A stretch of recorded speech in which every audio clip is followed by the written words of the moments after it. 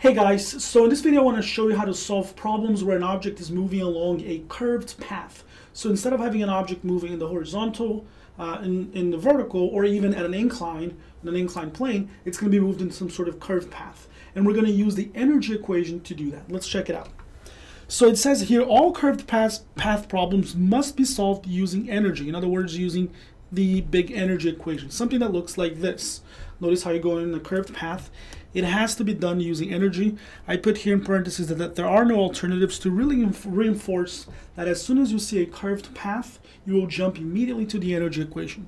I also put an asterisk here uh, just to make a comment that it, this is not really the only way. You could use more advanced uh, physics with calculus to do this, but even most physics with calculus classes won't um, do it that way.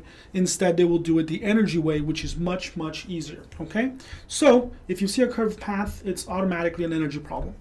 Um, first example here, what minimum speed would a block of unknown mass need to have at the bottom of, the, of a 30 meter high smooth hill in order to reach the top? So what initial velocity do you need here so that you reach the top? Okay, and this is a 30 meter hill. Now, I'm going to use the energy equation and write it here, and then we'll talk about some of the details of this question. Curved path, so I jump straight into the energy equation. Is there kinetic energy in the beginning? There is kinetic energy in the beginning because you have a speed. If you had no speed, you wouldn't be moving and you would never get to the top. There's no potential energy because you are on the ground. The work done by non-conservative forces is the work done by you plus the work done by friction. You're not doing anything. You're just watching this box move.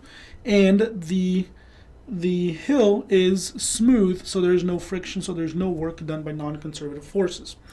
Um, kinetic energy. Is there kinetic energy at the end?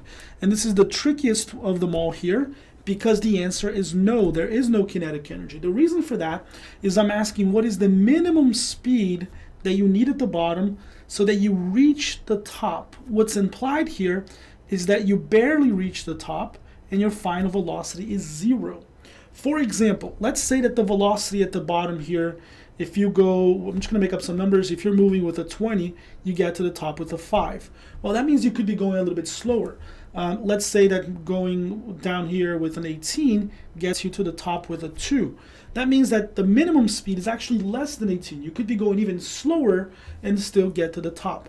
So the idea is what is the velocity here so that I just barely get here, meaning uh, the extreme case here or the boundary condition here is that the final velocity is zero. Cool?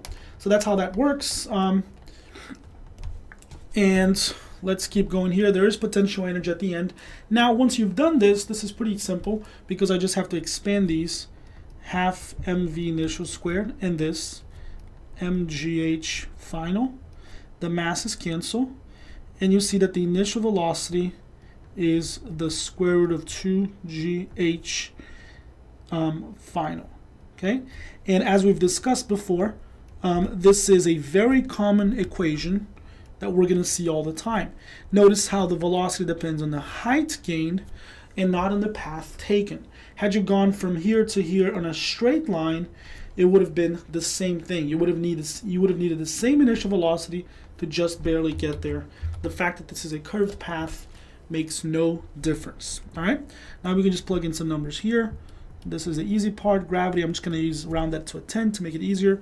And this is a 30. So this is going to give us the square root of 600, and the answer is 24.5 meters per second. Cool. That's it for this one.